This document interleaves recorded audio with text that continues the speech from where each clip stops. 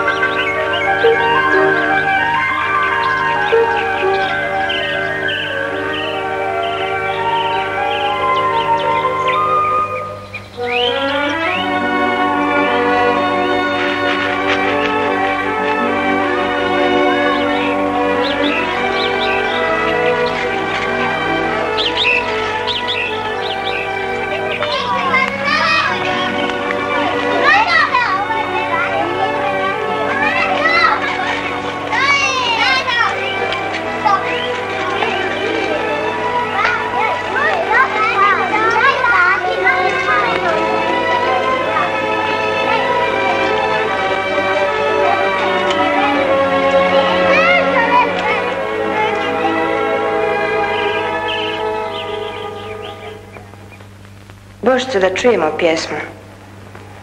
Medo se predano probudio, iz brloga svog je zimus izišao stari Medo, šapama je trljio oči i pažljivo sve razgledao. Devetogodišnja Božica Kozina, učenica trećeg razreda osnovne škole Ivo Lola Ribar u Kreševu, evo već treću godinu sa planine Lopate dolazi u školu. Jedno dva put lijeno, pa zlovoljno gunđajući, polako u spilju krenu.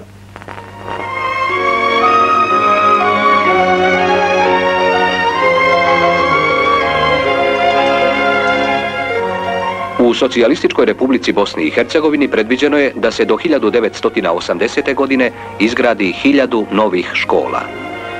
Tako će do 1980. godine biti okončana jedna od najvažnijih društvenih akcija u ovoj republici, hiljadu novih škola, a osnovno obrazovanje dobit će sva djeca školskog uzrasta.